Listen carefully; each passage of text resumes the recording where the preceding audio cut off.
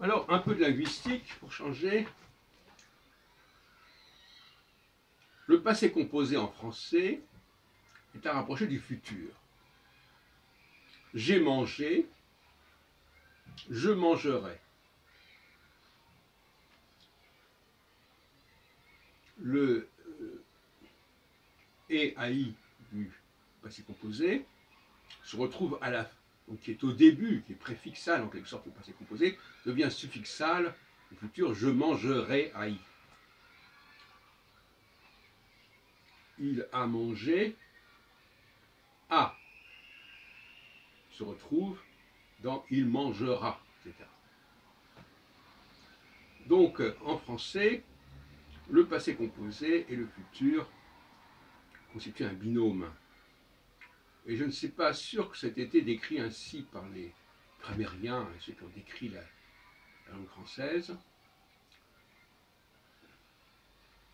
Euh, inversement, il y aurait un lien entre le passé simple et ce qu'on appelle l'imparfait du subjonctif. J'en ai déjà parlé par ailleurs. Par exemple, il mangea, qu'il mangea. Donc, euh, on retrouve les mêmes sons quelque part.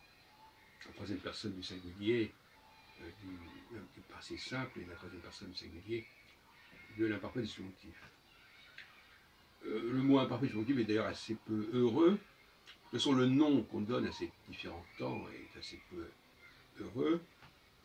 Parce que passé composé par rapport à futur, bon, très bien, pas tout à fait évident non plus.